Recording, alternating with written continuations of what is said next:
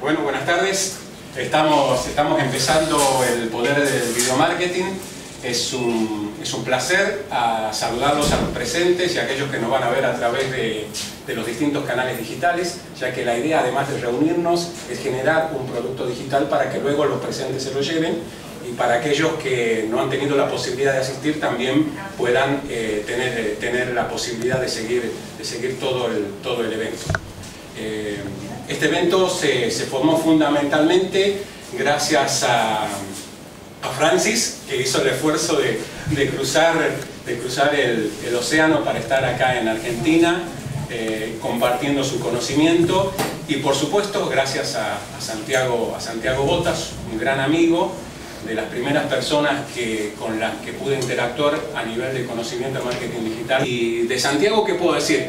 Los, los, conocimientos técnicos de Santiago en lo que es video marketing y sobre todo, sobre todo con Santiago, Santiago Botas estoy, estoy hablando. Eh, Santiago le hice una entrevista y lo voy a definir con el nombre de esa entrevista. Eh, le llamamos el emprendedor serial. Bien, eh, para aquellos que no lo conocen a Santiago, les recomiendo ir a, a YouTube y buscar eh, TEDx Corrientes y van a ver en 7 minutos les va a contar su vida, se van a reír y ahí un poco está resumido porque de hecho es contar tu vida en 7 minutos lo que es Santiago, así que muy agradecido Santiago la verdad, impagable que estés acá y tenerlos a los dos juntos, la verdad, para mí, chapó, como dicen. Un aplauso para todos nosotros y...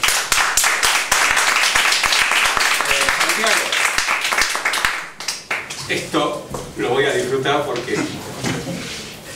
¿Qué tal? Antes, sí. antes de empezar mi presentación, bueno, ya estuvimos charlando unos minutos y eh, como creo que todo lo que tiene que ver con video eh, tiene, está relacionado con los detalles, hay muchos detalles que cuidar y el primero que quiero corregir es, voy a nivelar un poquito la segunda cámara sí. para que la toma salga mejor. Sí, sí, sí. Entonces, Empiezo con este pequeño detalle de aflojar acá el soporte, nivelar la cámara, decirme Elisa si está bien o me corta la cabeza. ¿Cómo estamos? Ante todo, antes de empezar mi presentación, yo quería decir que yo no soy un docente, no soy una persona que les va a explicar toda la técnica perfecta, todos los tipos de video, la clasificación según tal o cual el libro, realmente no tengo la menor idea de eso.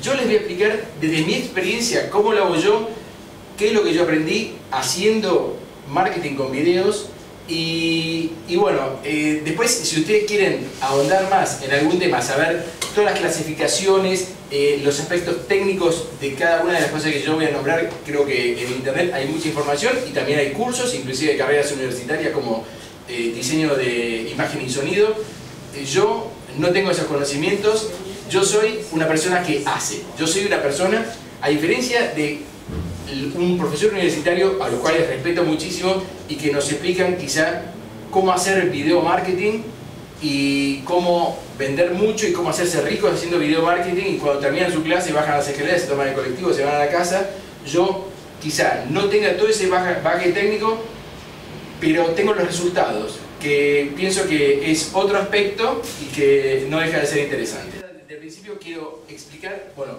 ¿quién soy yo? Tengo 3.000 o más de 3.000 videos en internet eh, y más de 1.000 de esos están en canales míos, canales propios. Los otros 2.000 están embebidos, han sido copiados, eh, mucha gente eh, saca mis videos y los postea dentro de sus canales para vender publicidad, para programas de afiliados. Eh, he visto videos míos, inclusive casi el canal completo, en, páginas japonesas, y que yo no entiendo bien cuál es la finalidad, pero es bárbaro. Mientras esté mi nombre, a mí no me importa que digan de mí, mientras escriban bien mi nombre. Así que, bueno, trabajo en cinco industrias diferentes, con seis plataformas de video, básicamente YouTube, Facebook, eh, Yahoo, Metacafé, Dailymotion, eh, Dale al Play y tengo aproximadamente, juntando todos los canales, unas 50.000 reproducciones mensuales o un poco más que eso.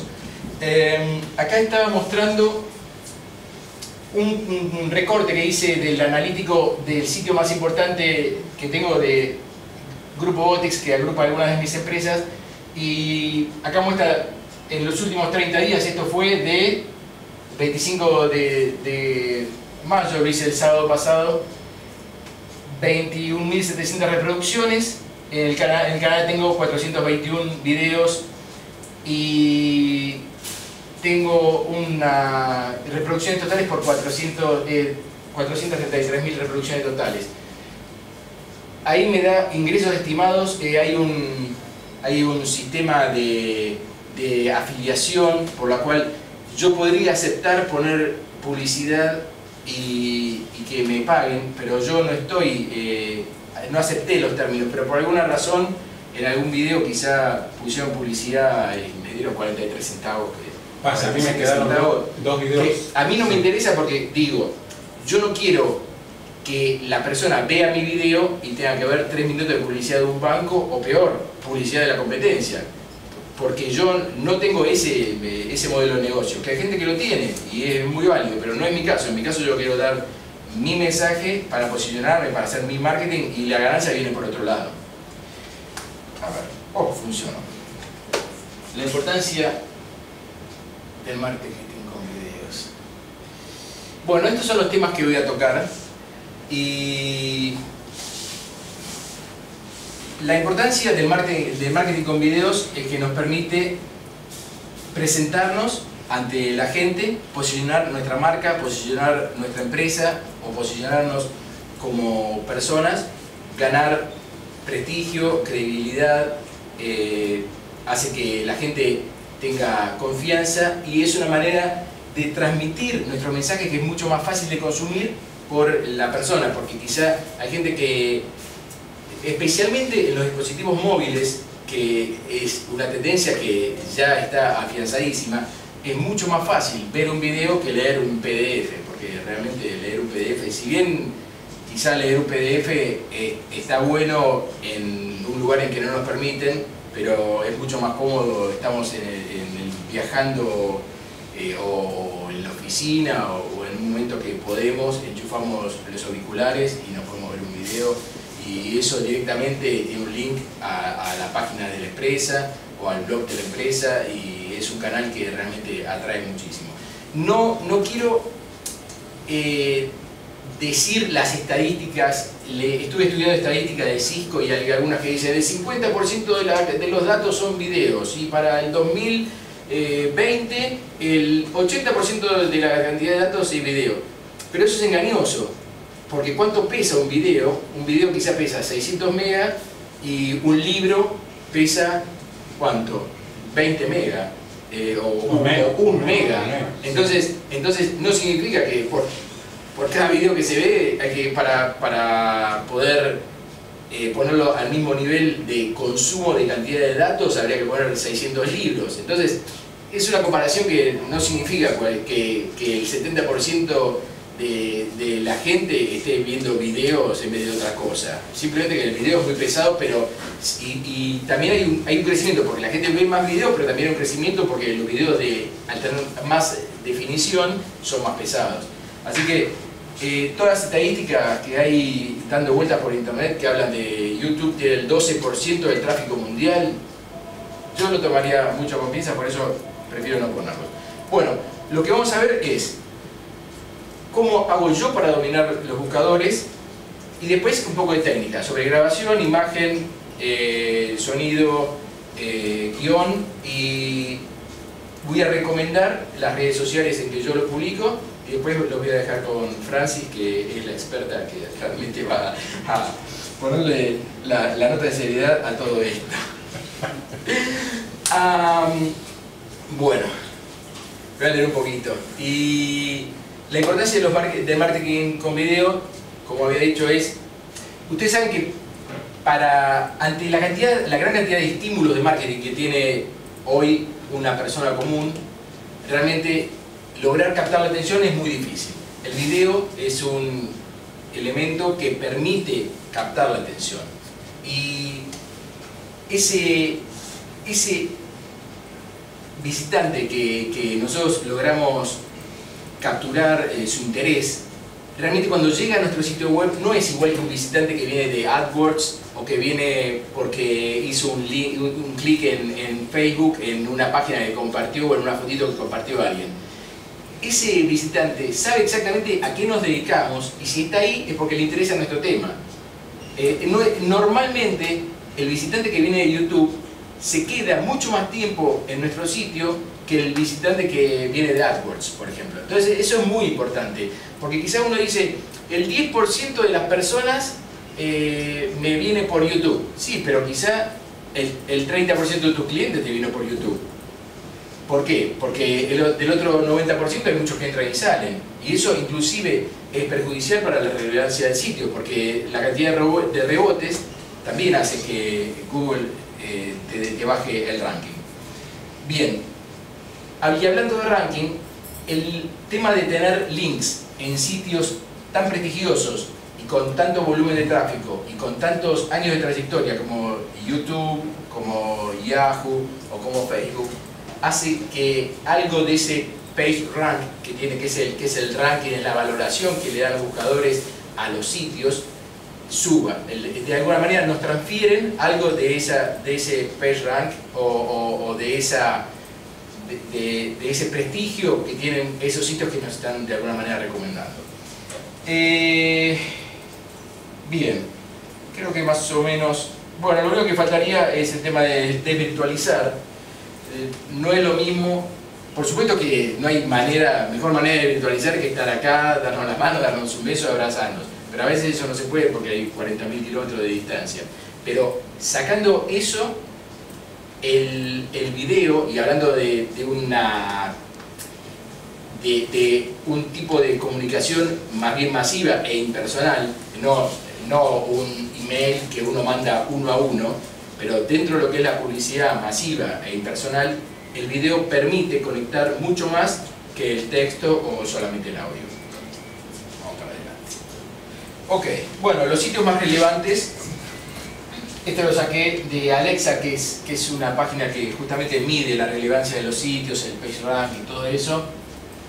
Eh, hoy está primero Facebook, después Google, YouTube, Yahoo y Baidu, que es el buscador chino. Eh, es por eso que hay que concentrarse, el buscador es chino, se lo dejamos a los chinos, y los otros cuatro realmente hay que tener muy en cuenta. Y mucha gente lo único que hace en, Facebook es eh, dar el link o embeber el video de YouTube. A mí me gusta también subir eh, los videos a Facebook. Quizá no sé cuál es la limitante, creo que no se puede meter un video de media hora, pero videos cortitos se puede y está 20 minutos. Donde en Facebook yo he visto vídeos de hasta una hora y pico, ¿eh? ¿Ah, sí? En mi caso particular no me dejó subir más de 20 minutos. Sí, sí, yo, hay, una, no, hay una limitante me parece de 10 mega, eh, de, eh, eh, 100 mega o algo por el estilo. Quizá en muy baja calidad puedes subir un video... yo es que no lo subo directamente. Claro, él está haciendo referencia ah, a ah, ah. subirlo directamente. Claro, porque, ¿qué pasa?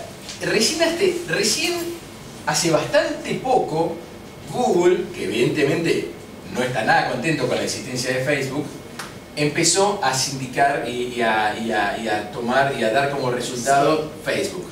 Entonces, bueno, desde ese momento es que, bueno, si subimos los videos, tomemos Facebook como una plataforma que también es de videos. ¿no? nos limitemos a embeber el, o a poner el link del video. A mí particularmente como generación de, resonancia, de comentarios y todo lo demás, me ha dado muchísimo más resultado subirlo directamente a, Facebook al video y no embeberlo desde YouTube. Y además se ve. Y además, claro, se ve todo. que tiene que, ver, tiene que ver, digamos, el hecho de que llame más la atención, lo que decía Santiago hace un momento. porque se ve todo el recuadro, se ve todo el recuadro. E incluso si uno tiene. Yo en ese aspecto, ahí sí soy un poquito meticuloso, cosa que no suelo hacer, suelo subir el video y listo, es buscar una miniatura que llame la atención te permite... Perfecto, hasta 10 miniaturas, te, eh, son 10 tomas. Entonces la que queda, como dice Javier, queda grande en Facebook y si esa miniatura que llama la atención, entonces... Bien. ahora YouTube también te deja eh, poner una imagen cualquiera que no pertenezca al video. Que eso Ah, también está bueno. Ok, interesante. Eh, es- te permite personalizar la miniatura. Pero eso Francis sabe. Bien. Esto no es para tipo decir, uh, soy un capo. Eh, es una búsqueda. eh, una de mis empresas fabrica, es Abaco Tendedero de Techo, fabrica tendederos colgantes de techo. Puse tendedero colgante. Eh, es, es fácil posicionarse con cuatro palabras, pero es bastante difícil posicionarse con dos. Eh, tenemos, Aparte están viendo las no competencias. llego ¿no? ni a leer, Ahí. 191 mil Sí, claro. resultados. Esto es publicidad paga, eh, para, porque por cuestiones del lugar puse a continuación.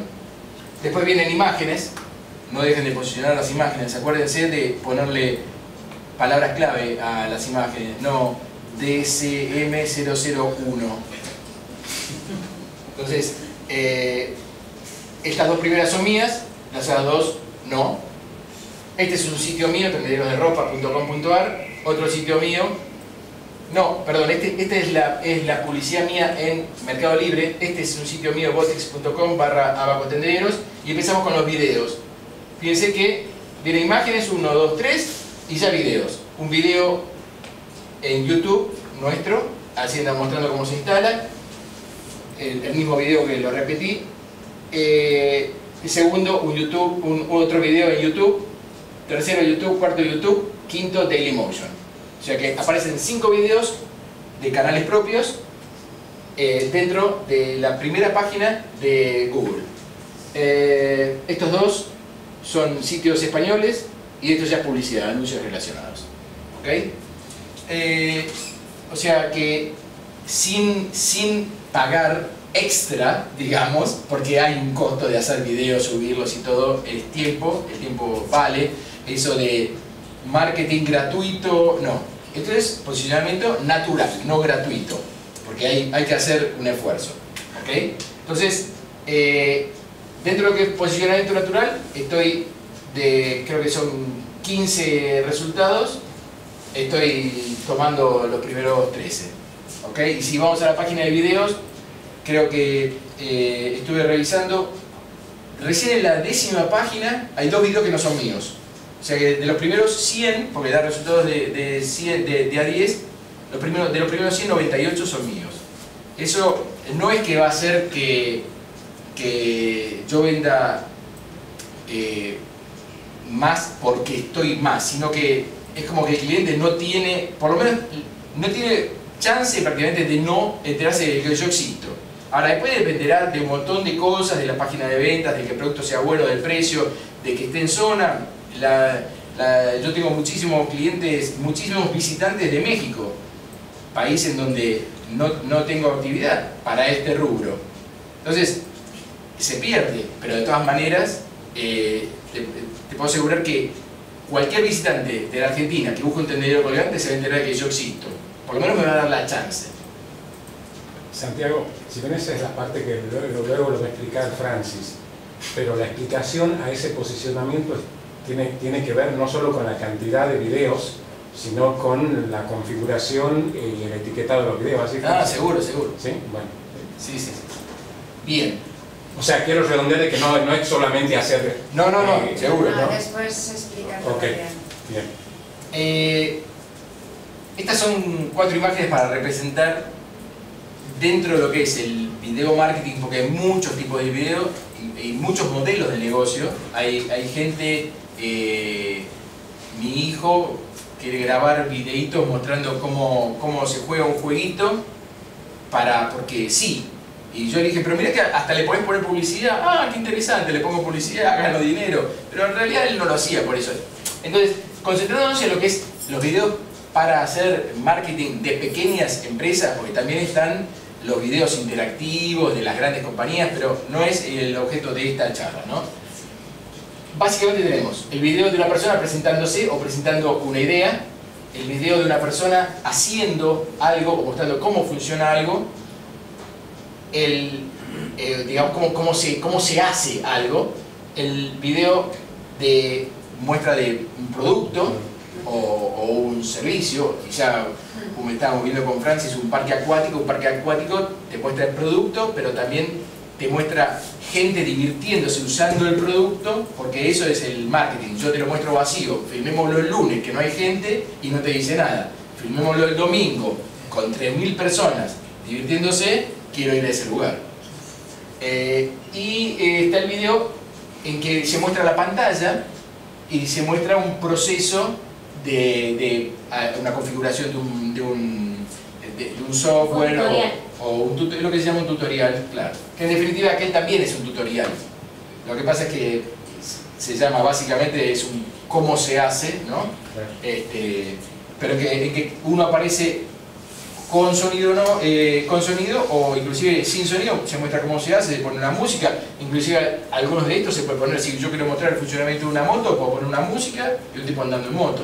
No necesito estar hablando y explicando que la moto tiene dos ruedas o las características mecánicas o lo que sea, ¿no? Bueno, antes de entrar en esta parte de equipamiento, eh, quería tratar el tema del mensaje, o sea, ¿cuál es el objetivo del, del video. Porque de nada sirve tener el mejor equipamiento si cuando nos paramos enfrente no sabemos qué es lo que queremos comunicar.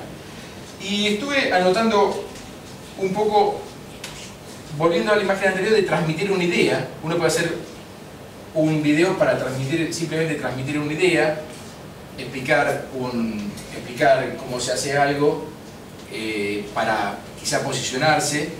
Eh, mostrar un lugar o un servicio, como el caso de que hablábamos, que hablábamos del parque acuático, posicionarse como experto, explicar cómo funciona algo o, cómo, cómo, se hace un proceso y lograr que el visitante diga, este tipo sabe, me interesa aprender de él o qué más tiene para enseñarme.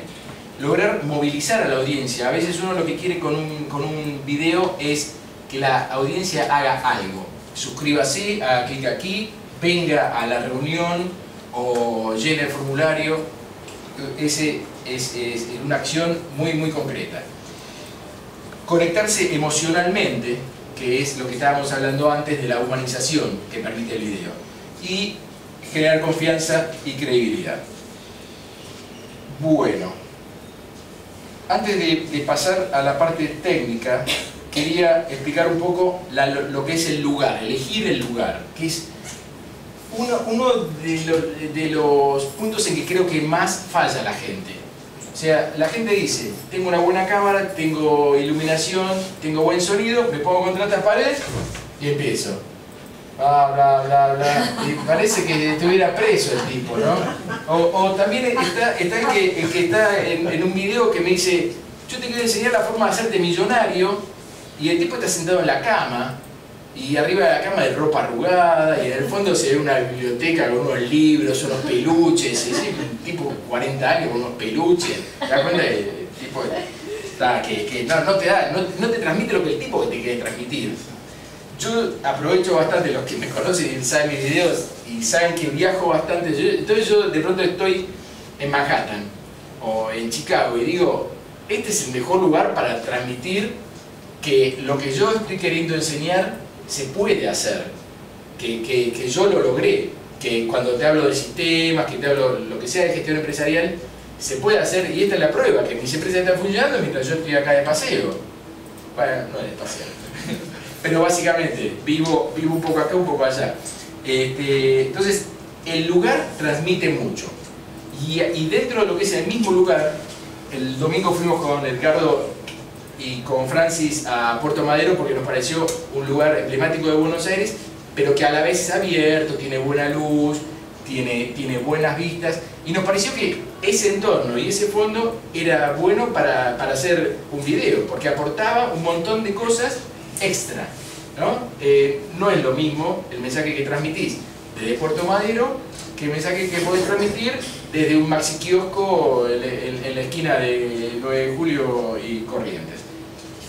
Bien, eh, entonces, una vez que ya elegimos el lugar,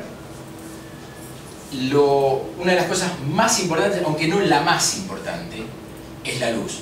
Porque la locación tiene que ver mucho con la luz y con el sonido. Y al respecto, si yo tuviera que elegir, si ahí me dicen, no podés, tenés que tener una luz buena y un sonido malo o una luz mala y un sonido bueno, yo prefiero el sonido bueno. Porque la imagen mala la soporto, pero el sonido malo no lo aguanta nadie. El sonido de mala calidad es muy, muy eh, difícil de, recuperar. Por más que el, contenido, el mensaje sea bueno, el sonido de mala calidad es muy malo. Por eso yo gasto más en micrófono que en cámaras. Em, bueno, con respecto a eso, el tema de la luz. Luz directa, traten de evitarla. Yo hice pruebas, dije, bueno, quiero una luz bien iluminada, me levanto a las 7 de la mañana, pongo todo en mi casa cuando da el sol y estoy, empecé tipo hablando así con los ojos cerrados, después probé ponerme anteojos, no funciona, no funciona. Eh, es bueno tener quizá una luz de mediodía y estar bajo un árbol algo que dé sombra, pero preferentemente que la luz entre de varios lados. Y por decir algo, quizá una pared de colectivo que recibe luz por los cuatro lados, que refleja el piso, que pasa un poquito a través del plástico, es un lugar bueno en cuanto a iluminación, aunque no en cuanto a sonido porque si bien uno puede llegar a tener el mejor equipamiento de sonido, si el sonido realmente es malo, si tengo un colectivo parando cada 20 segundos, gente pasando, va a ser muy difícil hacer un video bueno. Y el otro punto al respecto es el tema del tránsito, tránsito peatonal, tránsito vehicular. Si estamos en un lugar, estamos tratando de hacer un video, ponemos nuestra cámara, ponemos nuestro micrófono, y empieza a pasar gente, y se empieza a acumular gente, me ha pasado, hacer un video se empieza a acumular gente hasta que uno dice, no, yo estoy apurado y pasa. Y, y está diciendo que no, no me pise el cable, pasar por el costado. Uno no puede ni pensar, no puede concentrarse y toda la gente alrededor. Entonces, busquemos lugares que sean lindos, que tengan que ver con el mensaje, y eso es muy importante, que el lugar tenga que ver con el mensaje.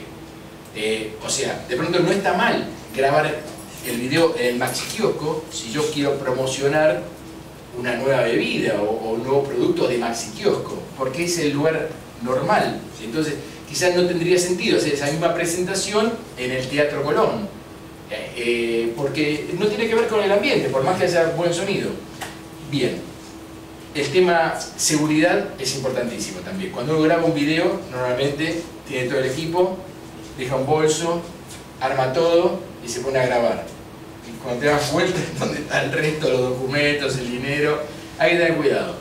Y cuando uno está intranquilo también se transmite con, el video, ¿no? Eh, bien, lugar para apoyar. Si no andan con un trípode de 50 centímetros por la ciudad, es bueno que encuentren un lugar donde colocar la cámara. Entonces, cuando elijan el lugar, fíjense, la iluminación, que la fotografía, o sea, las vistas de fondo sean buenas, la seguridad, hay un montón de, ítems y entre ellos un lugar donde colocar la cámara. Porque si vamos a apoyar la cámara en un banquito, nos va a salir una foto de la rodilla después. No, entonces no, va a servir. El viento. El viento, cuando uno realmente encontró el lugar, se pone el micrófono y, después sale la grabación y todo. Hay que tratar de estar a resguardo del viento. Eh, la acústica. Yo encontré un lugar en casa en que hablo y parece... ¿Vieron cuando cantamos en el baño? ¿Qué buena acústica en el baño? Bueno, hay lugares que tienen mejor acústica que otros, ¿ok? hay lugares en que uno habla y se queda... Me pasó cuando hice la primera grabación del curso de gestión empresarial rentable, el otro día no podía hablar directamente, había forzado tanto la voz porque no, era como no, no tenía retorno, hablaba como hablar al vacío, esos lugares que no tienen eco, y después encontré un lugar en casa que tiene buena iluminación, buena acústica y que encima tengo una ventana grande del otro lado y parece que estuviera en el exterior cuando en realidad estoy en casa. En la medida en que el jardinero no vaya ese día, que también pasó, de preparar todo y me llevó a la bordada. Entonces me quería matar, decía, se me va la luz, estoy justo en... Bueno, pasa. Em, bueno, y el tema del amoblamiento, o sea, si están en un ambiente cerrado, cuiden un poco que, los muebles y, las cosas que hay apoyadas, que no pase como ese señor que decía que filma de la cama, porque la verdad que no... Quizás si el tipo vende colchones podría resultar bien, una cama linda, pero si el tipo, no quiere contar cómo hacernos ricos comprando oro a través de un sistema de multinivel, que lo grave de la cama no está muy bueno, no es muy serio. Bueno, vamos a las cámaras. seleccioné acá cámaras de, distintas tipografías. Hace unos años se podría haber dicho que la webcam es la más, eh, era la más accesible, pero la realidad es que ahora el celular es el más accesible. Porque lo tenemos siempre, siempre. Yo recién estaba diluviando en Buenos Aires, quería sacar una foto de una avenida en que los autos estaban casi flotando y que tenía el celular, no tenía la cámara, no tenía nada. El celular, prácticamente todos los celulares tienen cámara de fotos, muchos de ellos graban video en mayor o menor calidad, pero graban y sirve para hacer un video. La computadora, la mayoría de las computadoras tienen una cámara web y en general son de bastante buena calidad. Si tienen una cámara, una, una computadora de escritorio, pueden comprar una webcam. Hay desde 20 dólares creo, pero seguramente gastando unos 100 dólares van a conseguir, o, o quizá 80 dólares van a conseguir una que tenga, que tenga mayor sensibilidad y que pueda tomar mejor la imagen, ¿no? Por menos también. Bien. Eh, bueno, pasamos a la cámara de fotos. Hoy prácticamente hay un pequeño segmento de unas cámaras semiprofesionales que filman sin sonido, pero después si ya nos vamos más arriba que eso, a cámaras de, más de cámaras de fotos de más de mil dólares o cámaras de fotos de menos de 400 dólares, todas tienen video, no hay problema con eso. Y, y con bastante buen sonido. Tenemos la Flipcam, como la que tiene Francis, tenía una y ahora tiene otra, renovó el equipamiento. Este, en términos generales, la Flipcam, me comentaba Francis, yo nunca tuve una, pero me dice que tienen entrada de micrófono, que eso es muy importante. Eh, yo creo que es determinante, eh, es, o sea, ok, la cámara con sonido y de ahí para adelante este, creo que es muy importante, si podemos pagar un poquito más, conseguir una máquina que tenga una entrada independiente de micrófono. Porque eso va a permitir conectar micrófonos de buena calidad lograr un sonido mucho mejor. Cámara hogareña. Las cámaras hogareñas, en términos generales, tanto el celular, cámara de foto, como esta graban en tarjeta. Las cámaras hogareñas, en este momento, yo creo que ya el 80% graba en tarjeta, todavía hay, algunas que pueden tener disco rígido, antiguamente DVD o, o cinta, pero ya eso no se está viendo y además eh, era más molesto. Eh, les recomiendo que compren una memoria grande, grande, cada vez eh, un video consume más. Si quieren tener capacidad para grabar mínimamente 32 gigas. ¿eh? Y que tiene, lo- es muy importante el tema de la velocidad, no se compren la más barata. Tiene que ser, eh, creo que 200 por o 300 por. Ya menos que eso van a tener problemas, no, no va a grabar bien. Bueno, tenemos la cámara profesional. El problema de la cámara profesional es que muchas veces eh, el, problema de, de compatibilidad, no están preparadas para conectarlas a una computadora, están, son, es como si no tiene eh, un sistema de micrófono demasiado bueno, ya como que pasa a ser parte de, otro conjunto, ¿no? Los enchufes son para meter el mezclador, son más para ir con eso un estudio. Entonces, a veces cuando nos pasamos decimos, quizás la máquina, la filmadora de 5.000 dólares, quizás no nos resulta tan buena como la de 500. ¿Ok?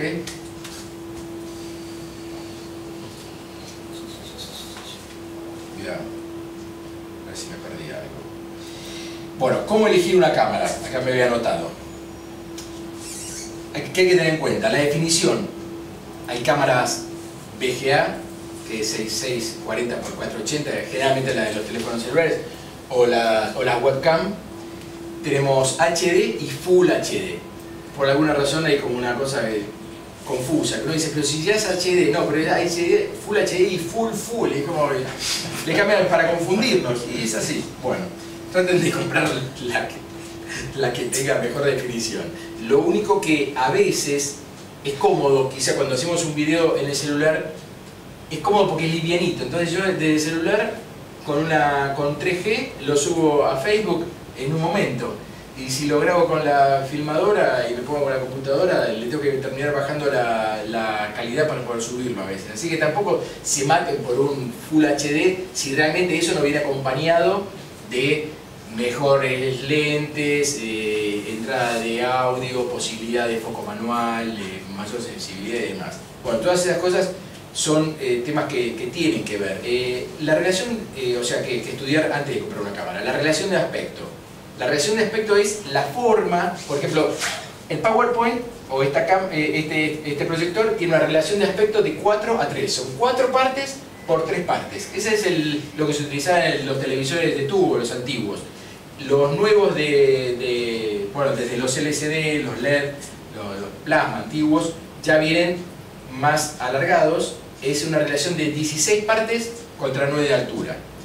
Eh, yo recomiendo que si se compran una cámara traten de que sea eso, porque eso ya es el formato estándar en, YouTube y si no le van a aparecer las franjas negras a los costados. Eh, Cuidado, cuidado con eso.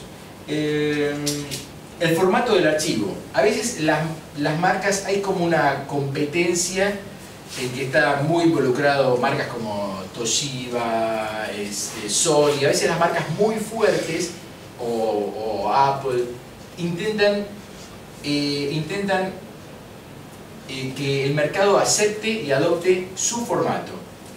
Pero resulta que esos formatos, si no se estandarizan, después es un problema, porque tenemos usar una máquina Sony que solo funciona con el software de Sony, o que hay que pasarlo de, de formato para poder trabajarlo en un editor que viene en Windows.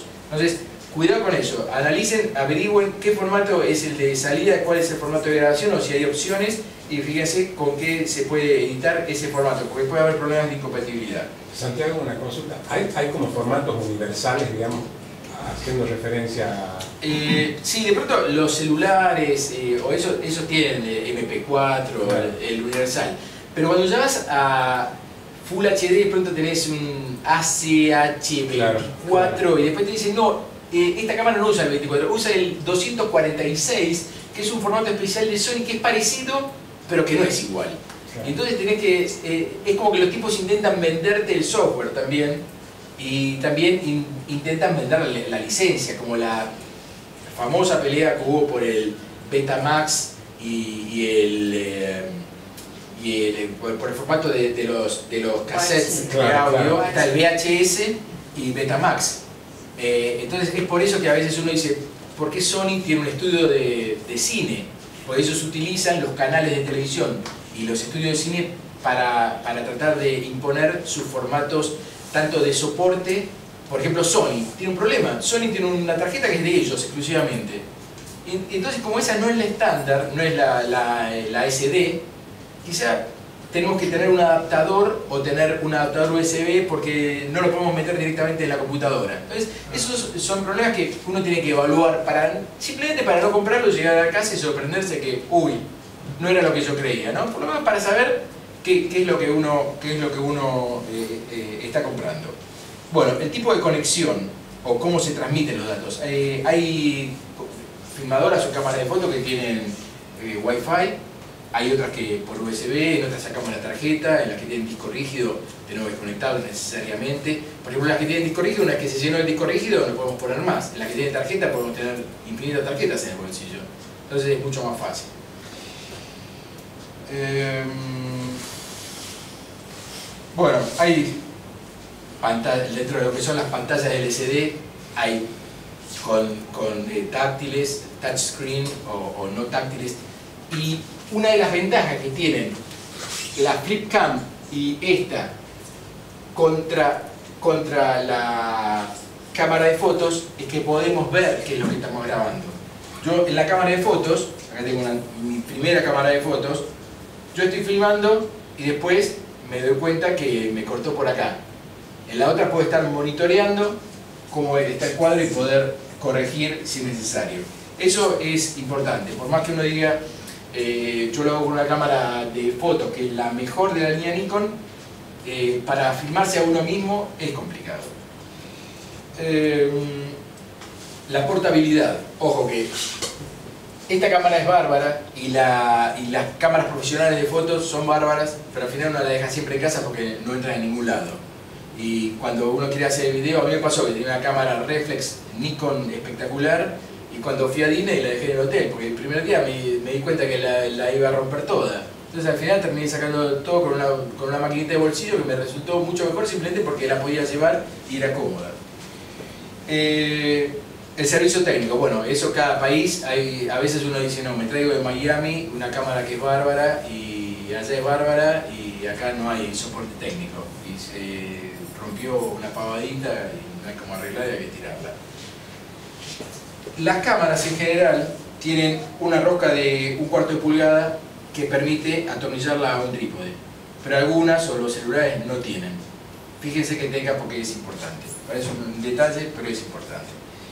Eh, tema de modos de captura. Hay pantallas que, hay, camaritas que tienen estándar y nada más. Otros que tienen para paisaje, para noche, para macro. Hay que ver eso porque a veces dicen, no, pero yo voy a hacer videos de, mi cara nada más. No, pero quizás en el futuro decidí vender virome si tenés que hacer una toma de la virome y necesitas que salga bien. Entonces, cuanto más flexibilidad tengamos y podemos manejar el foco, hay, hay lugares, por ejemplo, que eh, estamos quizás en una playa y nosotros queremos salir, pero es tanto el fondo de lejos que termina todo enfocado o, o de pronto se va, se va y viene, se va y viene el foco y queda feo. Entonces quizás para esas tomas conviene tener un foco fijo y poder manejarlo, o poder, o poder en una, quizá es un lugar demasiado luminoso y nos está corrigiendo para, para, el promedio cuando nosotros lo que queremos, a lo que queremos apuntar tiene una luminosidad menor y tenemos que manejar también eh, la apertura y eso. Así que bueno, todo, todo eso está relacionado con el precio. Es bueno que podamos evaluar y decir, cuánto gasto y qué obtengo y entender qué significa cada una de esas cosas. Y una cosa que yo veo siempre son las opiniones en los foros. Eso es un termómetro que nos da, que nos da la experiencia del usuario. Porque quizá en las especificaciones la cámara es bárbara porque con un lumen filma como si estuviera eh, con luz de día, pero después eh, resulta que filma pero mal, no sirve. Entonces es bueno leer lo que te, dice, lo que te dicen otros usuarios. Pasamos a las luces.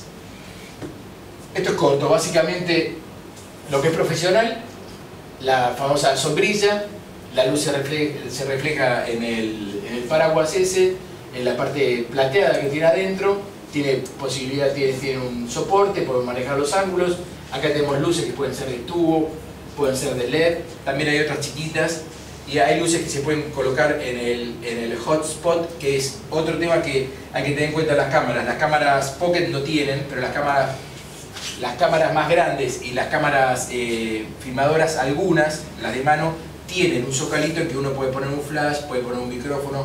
Eso está piola, se llama Hot, hot, hot Foot. Um, ah, también lo mismo, el tema de la portabilidad. No se vayan siempre por el más grande, que a veces eh, resulta que, lleva dos horas armarlo, no hay lugar donde guardarlo, es un problema. Como económico, dos tubos verticales con luz de día, andan bien. Las luces de bajo consumo, fíjense que hay algunas que son luz de día, algunas son luz de noche. Creo que la temperatura de la luz es cerca de 5000 en la de día. Fíjense en las cajas, con eso, con eso andan bien, con eso en general andan bien. Micrófonos. Pasamos a los micrófonos que, que es un tema importantísimo. No, pasamos a, a, los, a los soportes. Después vamos a los micrófonos. Tipo, tipo de soporte. El trípode profesional. Esperamos a ver si seguimos. Trípode profesional. El problema es la medida la ventaja es la estabilidad, la, posibilidad de, de, de tomar, inclusive se puede sujetar desde un costado, desde las patas, es, es, múltiple. La cantidad de tomas que uno puede hacer es múltiple. Igualmente en video, ojo, que a veces uno dice, tomé, le quiero sacar un video a mi mamá hablando. Hacemos todo el videíto y cuando llegamos a casa nos damos cuenta que los televisores son así. Así que no recomiendo sacar, hacer videos verticales. ¿eh? Por más que la persona que vamos a filmar sea una personita parada, tengan en cuenta que si no van a tener que ver el video acostados en el sofá. Eh, cualquier apoyo, cualquier apoyo es bueno, independientemente del precio, si nos permite obtener el, el ángulo y la altura que nosotros necesitamos. Por supuesto que apoyar la cámara en un, en un poste de cemento nos va a limitar muchísimo. Pero si justo encontramos el poste que es adecuado, nos sirve, lo mismo, eso no sale. Simplemente que, vamos a conseguir una versatilidad mucho mayor con un soporte de estos como con esto. Opciones, eso yo lo hice, acá la filmadora, esa es mi filmadora, estaba con mi cable de computadora y anduvo bien, pero me llevó 20 minutos, con un trípode común y ya lo hacía en 5 minutos. Trípode de bolsillo, súper cómodo, ahora estamos usando con, con la cámara de Francis y te saca del paso. Eh, para mí la portabilidad es muy importante. Y aquello, bueno, es un soporte de uso urbano, es una cosa nueva, un producto que diseñé yo, tengo la patente mundial y está bueno, ahora lo estamos usando para, para sostener el, el teléfono, lo podemos agarrar de un Tenés dos pedidos, dos pedidos por el Facebook. ¿En serio? Hoy los publiqué y hay gente que lo está pidiendo. Bueno. Después hablamos de la Muy comisión y todo eso. Vamos a, vamos a los micrófonos. Bueno, los micrófonos, hay dos tipos de micrófonos. El micrófono dinámico y el, el de condensador. El dinámico es mejor para instrumentos y el de condensador es más para música. Yo uso todo condensador, perdón, para voz. Yo uso todo condensador. Y bueno, el micrófono que todos tenemos al alcance es el del celular y el de la computadora. La computadora en general, arriba, tiene un micrófono. Hay algunas que lo tienen acá abajo, hay que verlo. También se le puede conectar un micrófono y las computadoras tienen una entradita de 3,5 milímetros. Así que cuando compren un micrófono, intenten que tenga esa entrada o un adaptador para 3,5 milímetros o que sea USB. Los micrófonos USB son mucho más caros, pero son mucho mejores y ahora les voy a explicar por qué. Este es un micrófono USB, es el Blue Yeti. Hay, hay muchas marcas, hay Audio-Técnica, Samsung. Eh, la diferencia de estos micrófonos y por qué son tan grandes, primero que tienen tres, tienen tres micrófonos que captan y permiten tomar omnidireccional, en estéreo, solo para una persona. eh, el, el abanico de posibilidades es mucho mayor, permite regular el volumen de entrada y abajo permite monitorear la salida, o sea, lo que, lo que venimos hablando. A mí, a mí me confunde un poco, pero hay gente que le gusta. Uno eh, muchas veces ve los músicos tocando en un recital con auricular para, porque ellos necesitan como un retorno. Para el tipo profesional que está acostumbrado es bueno. Yo no me puedo acostumbrar, pero lo tiene. Y a diferencia de, po- podríamos conectar este micrófono a la, a la computadora o un micrófono a la computadora y sacar eh, los, los auriculares desde la computadora, pero ahí vamos a tener un, un tiempo de respuesta que es lo que entra, procesa la, la tarjeta de audio y hasta que nos devuelve, que hace como un eco, que es como cuando antiguamente se hacían las llamadas internacionales por cable y realmente eh, distrae mucho eso. Entonces, eh, este, estos micrófonos profesionales lo que tienen es que tienen la placa de audio integrada. Entonces ya, ya mandan digitalizado el sonido directo al disco rígido, con lo cual la velocidad de procesamiento es mucho mayor y si, podemos, si queremos monitorear, se escucha al, mismo tiempo que nosotros escuchamos nuestra propia voz, estamos escuchando el, el retorno que nos viene de acá. Bueno, ese es un, un micrófono shotgun que tiene, en este caso tiene un adaptador para, para poner un poste y hablar o cantar, pero también viene con un adaptador que permite ponerlo, como decía, en el, en el hot foot, en ese zócalo que tienen las cámaras, que es lo que estamos usando ahora. Ese, ese tipo de micrófonos en general tiene una opción tele, que es para, para tomar sonido de más de 3 metros, toma un cono bastante cerrado, sin tomar en cuenta tanto lo que es eh, atrás y los costados, con lo cual el sonido sale bastante claro. Y también tiene una opción normal, que poniéndole un cable de alargue sirve para hacer entrevistas, eso es cómodo. Bueno, este es el clásico que sirve para hacer entrevistas o para hablar, ponemos un cable largo, podemos hablar. A mí me gusta mucho el de corbata. El de corbata es un micrófono muy chiquito, lo abrochamos acá y podemos hablar. La única contra del de corbata es que cuando yo miro para allá se escucha más, eh, se escucha más eh, bajo que cuando miro para el frente. Es por eso que muchas veces vemos el microfonito que viene pegadito a la cara. Ese cuando movemos siempre está a la misma altura, a la misma distancia de la voz y es muy bueno. Yo no lo tengo, pero es piola, lo usé y Bueno, si bien queda como un poquito una cosa que una- tiene una cosa en la cara, pero el sonido es bueno. Eh, fíjense con el tema de los micrófonos, el tema de la alimentación. Hay algunos que son recargables, otros llevan pilas, distintos tipos de pilas. Eh, ténganlo en cuenta en el momento de comprarlo. Creo que no me estoy olvidando nada. No, bien. ¿Y los Bastante. inalámbricos? Me estoy olvidando los inalámbricos. Bueno, el, el inalámbrico en general viene en la, opción, en la opción manual o en la opción de corbata.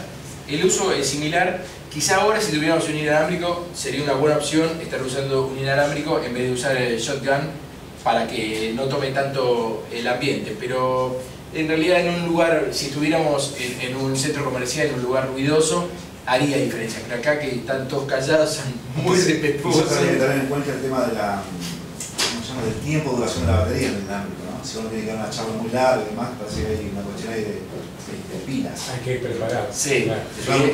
Y eso, no, y es un problema que a veces, yo por ejemplo ahora estoy grabando y yo sé que la filmadora no se me va a quedar sin batería porque en este momento la tengo enchufada. Pero el micrófono, si se queda sin batería, yo no me entero. Cuando vengo, cuando bajo, cuando bajo el video, me doy cuenta que no tiene sonido. Para eso es que tenemos un backup y eh, estamos grabando también con un teléfono que, aunque ese, ese es, un Nokia que tiene una calidad de 12 megapíxeles excelente, pero en el peor de los casos, si yo quisiera utilizar esta cámara, pero puedo eh, usar el audio que me queda de backup. Y también puedo hacer pequeños cambios de ángulo, en que de pronto hago un cambio de cámara y siempre queda como un videito más profesional, aunque tengamos una sola cámara. Una opción buena también para lograr ese efecto de doble cámara, por ejemplo, cuando hacemos una... Si tenemos una, una toma única, una buena forma es cuando le editamos cambiar el zoom. Entonces tenés, de pronto tenemos cuerpo, medio cuerpo, nos vamos a la cara, si bien la toma es la misma, pareciera que es otra cámara. Y eso sirve especialmente cuando tenemos que editar, que nos cortamos, que nos equivocamos, que hay que retomar y que no quede como todo cortado, podemos hacer eso. Y también se puede utilizar, cuando quizá estamos haciendo una entrevista, estoy hablando con Edgardo, y entonces, ¿qué hacemos? Ponemos una sola cámara, la apuntamos para acá y yo le digo, Edgardo, ¿qué pensás del video marketing?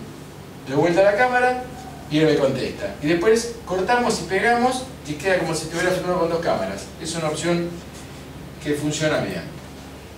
Bueno, acá tenemos el soporte de memoria más usado, el, el, el micro SD, tenemos el, el, SD y el micro SD que es el chiquitito. Este, este es el que normalmente tenemos en los, en los teléfonos celulares. Eh, hoy en día las prácticamente cuestan, cuestan igual. Es, es una opción buena comprar la memoria de esta medida con el adaptador que siempre cuando quizá eh, quede, obsoleta la cámara no puede servir para un teléfono, para un dispositivo móvil. Este, siempre se puede utilizar. Hay cámaras que no traen, las más económicas no traen ni cargador ni, ni posibilidad de, sacar la tarjeta y tenemos que conectar directamente al USB y ahí hacemos toda la función. La cargamos y entonces pasa que no tengo que dormir con la computadora encendida para cargar la cámara de foto. Se puede resolver con adaptadores y demás, pero a veces es un problema. Bien, vamos a la parte de, grabación. Aunque ya les di muchísimos ejemplos, pero cosas que no hay que hacer. Este muchacho filma en su habitación. La habitación está pintada azul, con muy mala iluminación, una iluminación de costado. La verdad que no lo ayuda. Está tomado muy cerca también. Es una toma realmente mala. Este otro señor, cuando subió el video no le editó. ¿Qué hizo? El señor agarró la cámara, puso play, puso, puso grabar y se, y se puso a grabar. Y después quedó así, con el brazo, con... Y el fondo. Fondo desordenado, todo tirado por el piso. Yo no digo que yo no tenga quizá en mi casa, algún lugar de mi casa, cosas tiradas por el piso, pero trato de que no salga en cámara. ¿Ok? La apuntamos por otro lado, ordenamos un poquito. Este señor se supone que es un gurú de, que nos va a enseñar cómo hacernos ricos y famosos. Y está acá en el living de su casa, departamento de, un ambiente que, no tengo nada contra. Yo también viví en un ambiente, pero, mientras tanto no enseñaba cómo hacerme millonario. ¿no? Digo, andate por lo menos, paga un café a un lugar que parezca un poquito mejor. Y esto es un error muy común. Y acá en Argentina no se tiene tanto en cuenta, pero en Estados Unidos son muy, muy estrictos con eso. Y les recomiendo que si están pensando en, en un negocio que puede llegar a tener alguna proyección internacional, no usen eh, imágenes que no sean propias. No, no vayan por internet robando imágenes. Eh, hay una salvedad. Cuando, de la misma manera que cuando uno hace un libro, puede poner citas de otros autores, cuando es con fines educa- educativos y dentro de ese contexto se puede llegar a usar una foto, pero para fines comerciales no. Eh, una buena fuente, hay muchas fuentes de, fotos gratuitas, una que me encanta es Wikipedia. Lo, lo descubrí cuando tuve que donar los derechos de unas fotos eh, de, de unos tenderos y otros tuve, tuve poniendo información en Wikipedia, así que eso es todo de uso libre. Eh, si no, se pueden comprar las fotos. No es, no es que una foto cuesta mil dólares, una foto cuesta un dólar, dos dólares y resolvemos el problema. Otras veces pasamos tres horas encontrando la foto ideal que, que no, que no la vemos en ningún lado y la podríamos haber armado en 10 minutos. Y a veces uno cree que la computadora es todo más cómodo, pero, pero realmente no es así. Em, bueno, eh, además de lo que quería explicar, yo ya no me acuerdo ni qué tengo. Bien. Esto, esto son los eh, son ejemplos de fotos buenas o de, de imágenes buenas. Fíjense que esta señora está en un lugar soleado, en un lugar natural, que es atemporal, no sabemos si esta imagen tiene 60 años o es de ayer, tiene buena iluminación sin necesidad de, de estar gastando en equipos. Esto es en estudio, este señor es un genio de traffic hazer, cómo habla y todo, es perfecto. Esto también es en una oficina, pero con buena iluminación. Esto es una foto que no está mal, pero fíjense que al no tener, eh, si esta foto fuera una foto profesional o un video profesional, de este lado habría una persona con una pantalla haciendo reflejar la luz para matar, para matar los brillos y haciendo que, que las sombras sean mucho más suaves. A veces, quizás nosotros no tenemos al alcance la posibilidad de decir, bueno, venite con un telgopor, vení un, un tipo que cerque el espacio, ponemos los equipos, el trípode y todo, sino que tenemos 10 minutos, venimos haciendo un recorrido, se va la gente, ponemos la cámara en un palo, hacemos el video, sacamos la foto y seguimos. Pero así todo se puede lograr bastante buenos resultados. Eh, algo que no está acá y que es una forma de, de hacer eh, videos y es que lo podemos hacer directamente haciendo la consecución de fotos. La consecución de fotos con, una, con un sonido grabado que se puede grabar en la computadora, en general traen algún programita de, de grabación de sonido o con el celular, en general tienen para capturar el sonido, así que también se puede hacer y podemos mezclando fotos, un audio propio, algún, alguna placa con información que se hace rápidamente con el Paint o con cualquier programita de, de edición y con una música podemos hacer un... Como, como- es, es- es como un slide, como, como unas diapositivas, pero que sirve muy bien para presentar un Hay producto. aplicaciones también que ya vienen, que vos pones las fotos y te hace... Y te hace la el Stop presentación. motion se llama, o algo así. Lo, Sí, stop, stop motion es eso que hacen con, con plastilina. No Me sé. parece. Animoto, eso- Ah, sí, bueno, ahora, ahora eso lo... lo... Eso, Por ejemplo, yo ah, tengo un iPhone el iPhone tiene una aplicación que vos, es más, vos podés dejar la cámara Sí, eh, y te va, vas haciendo determinadas cosas y te vas sacando fotos. bien. Y después te arma como un videíto, pero de todas las fotos. Genial, ya te lo, da, te, te lo da terminado. Bueno, muy, muy buena opción esa. Bueno, ya terminando, la dejo a Francis. Creo que más o menos estoy en tiempo. Estoy Sí, llegando sí, sí, en tiempo. Tenemos para- Eh, te- tenía, tenía un poquito de miedo de, de pasarme. Y, y vamos, eh, decime vos, porque por ahí habíamos, íbamos a hacer un video para que Francis luego lo suba. Sí, sí, eso lo hacemos al final. Ah, ahora, ok, ahora. No, ahora mientras yo me estoy colocando, vosotros hacéis un No, no, hacemos ahora un videito en un minuto, aparecemos todos y después Francis, mientras, mientras tomamos un café, lo subimos a YouTube y Francis Sí. después en base a ese videito va a explicar desde cero para que ustedes vean qué fácil se hace un video. Dame un minuto este, y termino con esto. Eh, bueno, estos son los lugares en donde yo recomiendo subir. Son los canales que yo utilizo, andan muy bien. Eh, Este quizá no- ustedes no lo conozcan, es de Telefónica de España y se indican muy bien los y, y aparece muy bien en los resultados en español, así que es bueno. Metacafé también, ojo con Metacafé que son muy estrictos con el tema de Perdón, yo estoy hablando y controlando las cámaras, amigo el bebé que soy, ¿no? Este, Metacafé, eh, eh, a veces el tema de comercial, no comercial, eh, yo diría que inviértanle tiempo, pero no se desilusionen si un día quieren entrar y le dicen que la cuenta está de baja. Algunos, algunos sitios tienen como reglas demasiado estrictas y las siguen a rajatabla. De pronto YouTube eh, te permite, mientras no sea duplicado y no sea que, y no, y no infrinja los derechos de autor, te permite cualquier cosa. Estos son, eh, estas son eh, cuatro sitios de empresas que se dedican a distribuir automáticamente los videos.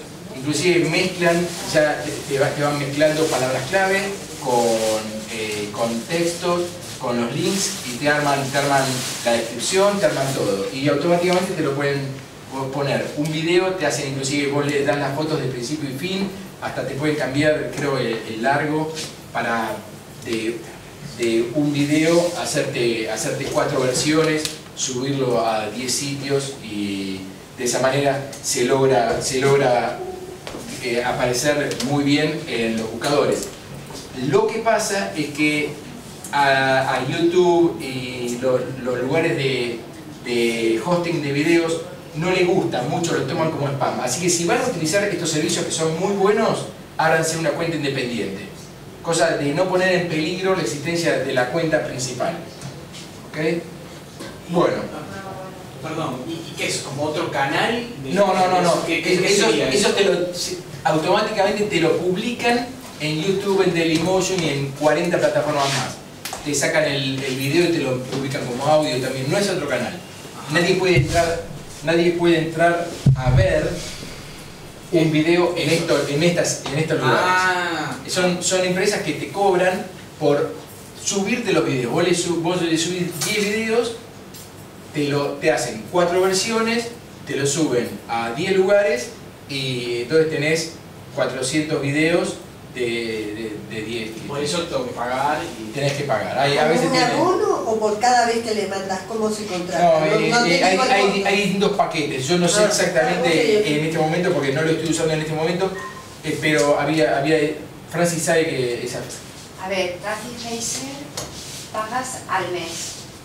Tu Mobile tiene la versión gratuita y versión eh, de pago. La versión gratuita solo te, te hace sindicación de contenido a 10 sitios. El, el Hub, bueno, no sé cómo se pronuncia, ese lo que hace es vídeos que ya tienes en YouTube, eh, te los clona a distintas plataformas Ah, y pagas y pagas por clonación. Por cada Ah, por video. Por, por cada vídeo que has subido. Ok. No es como Traffic Racer que es un, Un, un mensual y tiene, mensual y y tiene el distintos Tube planes con un máximo. Y el Tube Ah. Mobile de pago también eh, es un mensual. Y el otro no lo utilizo nunca. Ok. Último, y un poco relacionado con lo de la gestión empresarial, que es algo que yo trato de, de enseñar. Y quiero, quiero expresarles que un canal de videos es un activo, por lo menos así lo veo yo. Ah, Mucha gente no lo ve así, lo ve exclusivamente como algo que le sirve para posicionar el sitio. Y yo eh, les voy a hacer una cuenta rápida. Digo, imaginen que tienen un producto o servicio que ofrecen en un sitio web y que deja mil dólares, por decir algo, de ganancia mensual. Y que el 15% del tráfico proviene de videos. Pero sabemos que la gente que, que va a nuestro sitio web desde los videos, porcentualmente compra más, porque ya está pre- precalificada o precualificada. Entonces, los, como resultado de las, de las visitas, desde los videos se ganan 300 pesos mensuales. De esos 1000, o 300 dólares, de esos 1000, 300 dólares provienen de la gente que nos visita a través de un sitio, ¿no? Y digo, un departamento de 100 mil dólares en Argentina se alquila por 300 dólares al mes. Díganme, ¿cuánto vale el canal de videos? Para mí, vale 100 mil dólares. porque me está produciendo la misma renta que un departamento de 100 mil dólares.